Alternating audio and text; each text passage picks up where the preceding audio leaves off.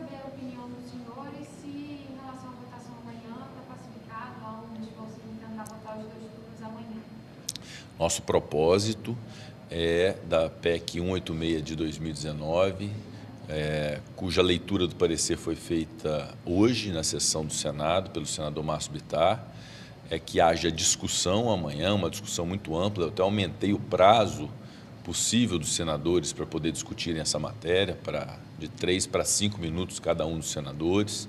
É, ampliei a possibilidade dos destaques também, ou seja, poderão ser apresentados destaques de emendas até amanhã às 16 horas, que é o horário marcado para início da sessão, e nós estimamos iniciar às 16 horas. E vamos fazer a proposta para que possa haver a quebra de interstício, que seja votada a proposta de emenda à Constituição em dois turnos. Por que, que isso é importante?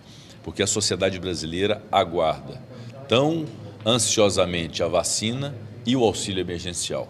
E o auxílio emergencial está contido no bojo desse protocolo fiscal que exige que haja essa responsabilidade fiscal, essas contrapartidas, para que seja viabilizado o auxílio emergencial no Brasil. Então, o nosso propósito na presidência do Senado é ter agilidade nessa proposta de emenda à Constituição, considerando que o texto dela foi amadurecido e bem amadurecido pelo relator, junto com diversos líderes que questionaram, inclusive, a presença da desvinculação dos mínimos constitucionais de saúde e de educação, que foi retirado da PEC dentro de um ambiente de consenso, de um texto que seja um texto uniforme.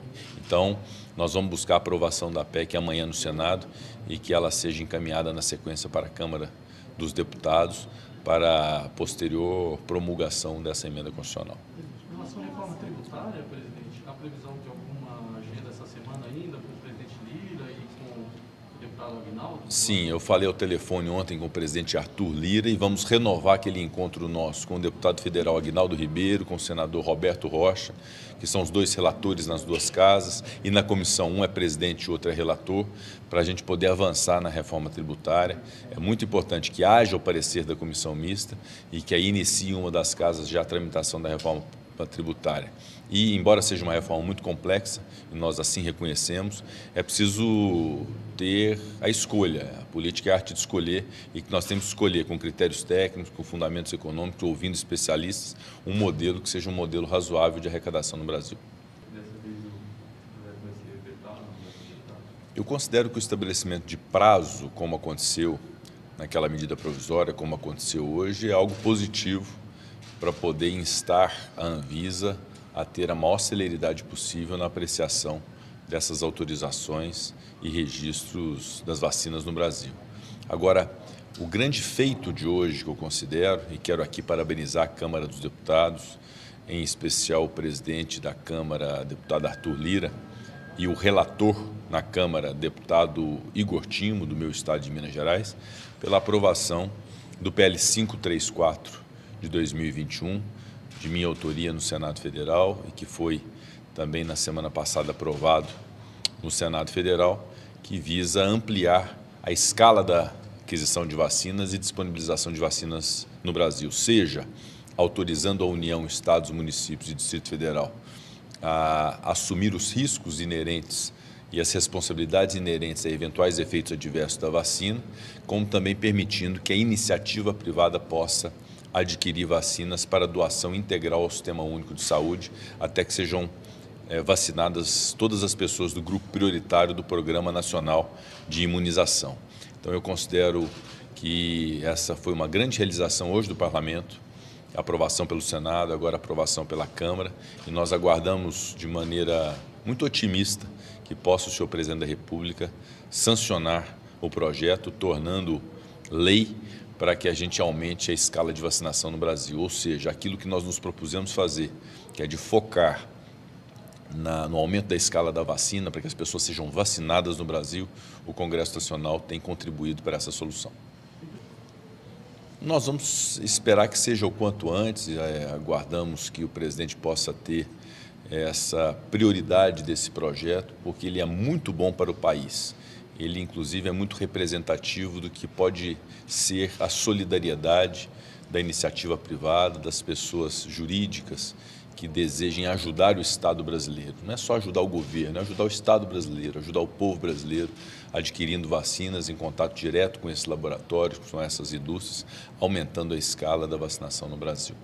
Boa noite. Em relação à PEC emergencial, alguns líderes saíram da reunião hoje falando sobre uma possibilidade de um Bolsa Família estratégico. Queria saber a opinião dos senhores se, em relação à votação amanhã, está pacificado a um de vocês tentar votar os dois turnos amanhã. Nosso propósito é da PEC 186 de 2019, é, cuja leitura do parecer foi feita hoje na sessão do Senado pelo senador Márcio Bittar, é que haja discussão amanhã, uma discussão muito ampla. Eu até aumentei o prazo possível dos senadores para poder discutirem essa matéria, para, de três para cinco minutos cada um dos senadores. É, ampliei a possibilidade dos destaques também, ou seja, poderão ser apresentados destaques de emendas até amanhã às 16 horas, que é o horário marcado para início da sessão, e nós estimamos iniciar às 16 horas. E vamos fazer a proposta para que possa haver a quebra de interstício, que seja votada a proposta de emenda à Constituição em dois turnos. Por que, que isso é importante? Porque a sociedade brasileira aguarda tão ansiosamente a vacina e o auxílio emergencial. E o auxílio emergencial está contido no bojo desse protocolo fiscal que exige que haja essa responsabilidade fiscal, essas contrapartidas, para que seja viabilizado o auxílio emergencial no Brasil. Então, o nosso propósito na presidência do Senado é ter agilidade nessa proposta de emenda à Constituição, considerando que o texto dela foi amadurecido e bem amadurecido pelo relator, junto com diversos líderes que questionaram, inclusive, a presença da desvinculação dos mínimos constitucionais de saúde e de educação, que foi retirado da PEC dentro de um ambiente de consenso, de um texto que seja um texto uniforme.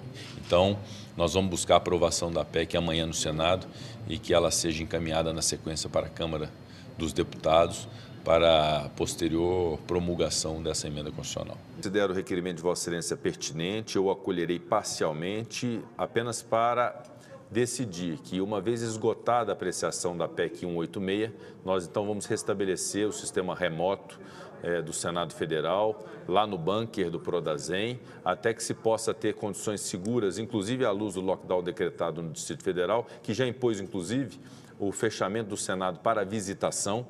É? Acho que foi uma decisão, considero que foi uma decisão acertada. Então, nós faremos esse encaminhamento, nós esgotaremos a apreciação da PEC 186 e, na sequência, voltaremos para o sistema remoto apenas pelo Prodazem e vamos restabelecer o sistema semipresencial tão logo seja possível com segurança sanitária. Não é? E vamos restabelecer o sistema semipresencial tão logo seja possível